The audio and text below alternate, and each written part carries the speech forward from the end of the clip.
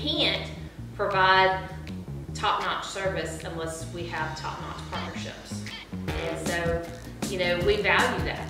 I mean, I, I do feel like I'm very confident that if somebody came to us with a need, that we can fulfill it. You know, we can make a call and um, the relationships that we have with these people, they, I feel like they just drop what they're doing and they're ready to help us.